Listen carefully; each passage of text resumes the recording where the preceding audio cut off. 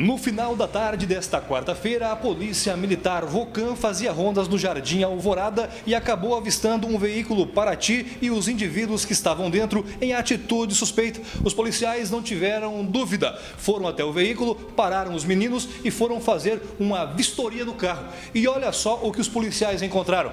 Põe a imagem aí esta pistola 380 municiada com outros dois carregadores e os dois elementos menores. Segundo informações, são filhos de família boa da cidade de Maringá, mas que estavam utilizando o carro, não tem habilitação, dirigindo de forma irregular e levando esta arma no interior do carro, acabou então dando dor de cabeça. Segundo informações, o proprietário do carro e também da arma seria um bombeiro aposentado e é isso está sendo, claro, investigado pela polícia agora para saber como é que esta arma foi parar no carro, se era de fato desse bombeiro. Enfim, o rolo já está na delegacia. Mais um ponto para a Polícia Militar de Maringá, em especial a Rocan, que tem feito excelente trabalho aqui na cidade. Tenente, mais um trabalho de, vamos dizer assim, é, eficiência por parte da polícia que resultou em apreensão de arma e apreensão também de dois menores.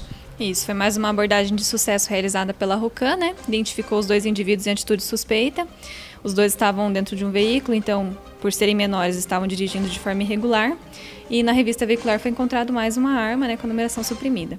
E nesse caso aqui, a polícia investiga agora para saber se realmente é desse bombeiro aposentado, enfim, isso é uma questão de investigação agora da Polícia Civil. Isso, a investigação fica a cargo da Polícia Civil, mas a arma ela não é da corporação, ela não pertence nem, ao, nem à polícia nem ao bombeiro, então cabe à Polícia Civil identificar de onde que veio essa arma. Obrigado, tenente. A polícia trabalhando agora para saber de fato aonde foi conseguida essa arma. Se era realmente desse oficial aposentado, enfim, é um caso que vai ter um desdobramento ainda no decorrer da semana e talvez a semana que vem teremos mais informações. Os dois apreendidos, arma tirada de circulação, com certeza mais tranquilidade para a cidade de Maringá.